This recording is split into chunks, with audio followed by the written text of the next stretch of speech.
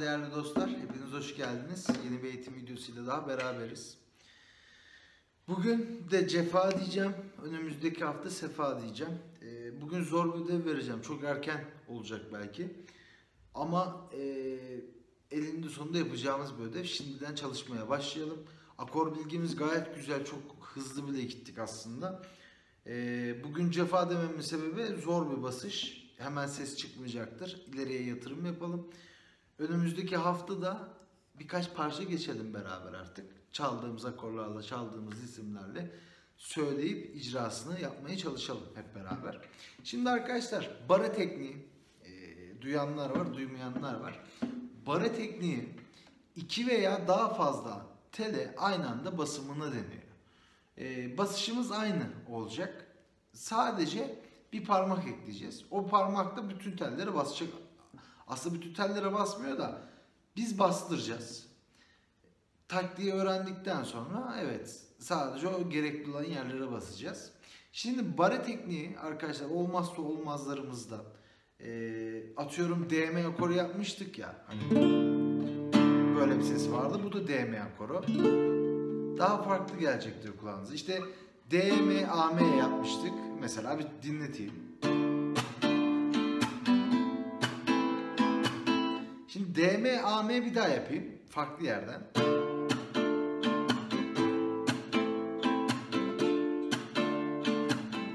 Gitarın duyumu değişecek. Şimdi peki ne? Bara akoru ne? Nasıl yapacağız? Biz en zorunu yapacağız. Yani en zorlardan bir tanesini yapacağız. Şimdi başlangıçta da ya bu öğretilir mi diyenler de olacak. Alışalım. Güçlensin parmak. Diğer yerlerde daha rahat basarız çünkü. Şimdi arkadaşlar E akorunu geçmiştik. Hani AM gibi demiştik. AM'yi hatırlıyorsunuz. Önceki videolardan bakabilirsiniz. Üste hepsini birer tane çıkarttığımız zaman E akoruydu. Yani mi majördü. Biz nasıl yapacağız? Bu mi majörü yani şöyle biraz daha kameraya yaklaşmak istedim. Mi majör bakın parmakları değiştirerek basıyorum. Serçe boştu ya. Şimdi işareti boşa çıkartacağım. Orta parmağımı getirdim. Yüzük parmağını getirdim ve serçe parmağımı bastım. Yine E akoru. Değişen bir şey yok. Bunları birer aşağıya kaydırdık arkadaşlar. Bakın. İkinci perdedeydi bunlar. Bu birinci perdedeydi. Bu üçe, bu ikinci perdeye geçti. Birinci perdem ne oldu? Bomboş kaldı. Yine aslında E gibi basıyorum bakın. E gibi. İşaret parmağımı da bütün tellere basıyorum. Bakın. Bütün tellere bastım. Dikkat etmemiz gereken ne? Dikkat etmemiz gereken E, F akoru bu da Fa majör akoru. Buna basarken seslerin güzel çıkması, diğer parmakların da diğer tellere özellikle serçe parmağın, orta parmağın diğer telleri temas etmemesi. Buna dikkat ediyorsunuz. Peki bunu yaparken baş parmağım nasıl? Baş parmağım arkadaşlar her zamanki gibi bakın dik bir pozisyonda değişen bir şey yok ama bayağı bir baskı yapıyor.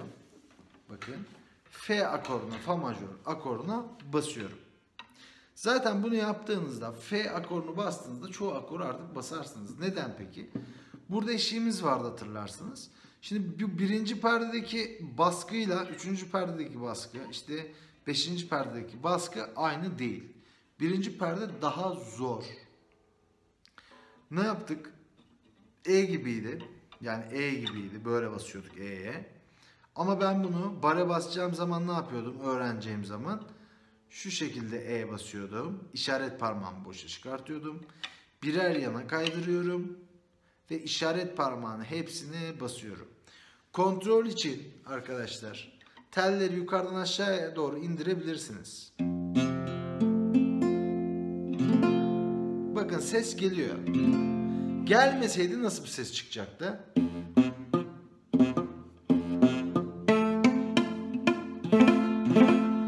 Bakın ya cızırtı gibi bir ses geliyor ya da e, hiç ses gelmiyor. Pıt pıt diye bir şeyimiz var. Biz burada F'ye basmaya çalışıyoruz. Şimdi ne yapacağız peki? Biz önceki videolardaki akor geçişlerini ritimlerimizle beraber çalışacağız. Bitirdikten sonra çalışmamızı F basmaya çalışacağız. Bakın kalıp olarak ezberlemeye çalışın. Şu basış F basışı. Yani bunu ben buraya getirdiğim zaman direkt otomatikman kendi basıyor. Bunu böyle eğitmeniz gerekiyor. Elinizi kaldırıp basın. Ritim atmaya çalışın. Ses çıksa da çıkmasa da zorlayın. Baş parmağınızda bakın. Baş parmağınızda sıktırın. Biraz canınız acıyacak. Dedim ya bugün biraz cefa. Ondan sonra sefa. Çünkü bayağı parça çalıyor olacaksınız. O akor geçişlerini yaptıysanız eğer. Olması gereken ne peki? Tamam F'ye bassın, basanlar da olacaktır. Öğrendiğiniz akorları çorbalayıp yani karışık karışık yazıp bildiğiniz ritimlerle geçiş çalışması yapmanız gerekiyor. Bir sallama akor yapayım ben. Yani geçiş çalışması yapayım. C,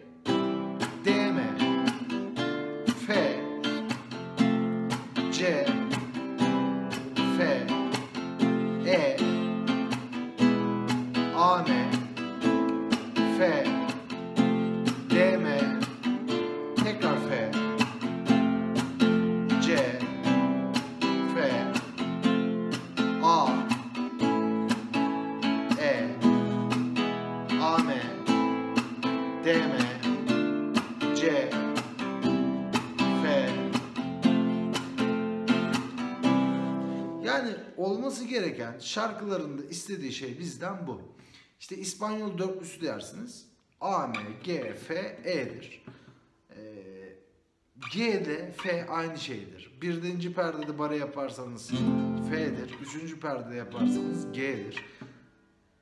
Bunları bastıktan sonra çok artık sizin için böyle oyuncak gibi olacak. Yani çok kolay olmaya başlayacak. O sadece şu yapıyı ezberletmeye çalışın diğer videoya kadar. Bareli akor yani bareli parça ilk başlarda göstermeyeceğim.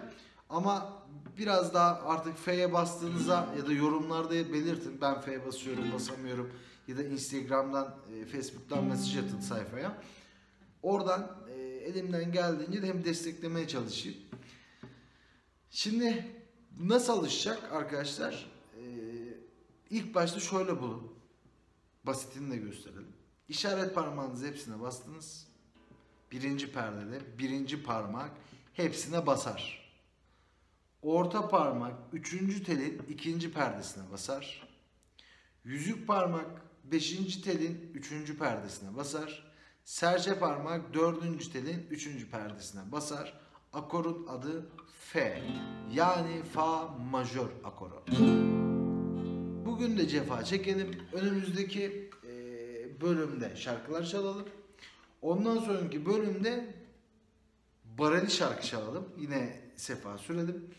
Ondan sonra biraz da notaları artık devreye sokup akorların açılımlarını ve biraz ileri seviyeye doğru atmaya çalışalım. Neye göre akor bulunuyor. Ee, onun için başlangıç derslerini tüm e, enstrüman eğitim videolarında söyledim. Burada da söyleyeyim. Bir şey olmadan örneğin AM ile C olmadan DM'ye geçmeyin. Önce bir AM ile C'yi oturtturun sonra DM'ye geçin. Biz sabırsız bir toplumuz. Hemen olsun istiyoruz. Hayır. Birinci bölümü yapamıyorsak o birinci bölüme devam. Sonra ikinci bölüme geçin. İşte Aa, hoca koydu bunu yapmam lazım diye düşünmeyin. Videolar duruyor. E, elimden geldiğince de desteklemeye çalışıyorum. Mutlaka oturtturun. Birinci bölümü, ikinci bölümü, üçüncü bölümü sonra yenilere geçmeye çalışın. Hangisinde sorun varsa e, içerlemeyin. Yani hoca haftada bir atıyor zaten yetiştirmem lazım. Günlük çalışma rutini yaparsanız zaten hepsine yetişeceksiniz bir haftada. E, bunları nereden söylüyorum? Bunları sizin yorumlarınızdan söylüyorum. E, senelerdir bu işi yapıyorum. E, orada gördüğüm ortalama süreler. Belki çok şanslıydım. Hep böyle çalışan öğrencilere denk geldim. Tabii ki yüz yüze olunca çok farklı oluyor. Ee, burada da sadece günlük alın. Sadece akorları ezberleseniz bile gelişmiş oluyorsunuz. Sağ el çalışması, o tartım çalışmalarını oturtturun. Ondan sonra zaten güzel yerlere geleceksiniz. Ee, hepinize teşekkür ederim. Sağlıklı günler dilerim. Hoşçakalın.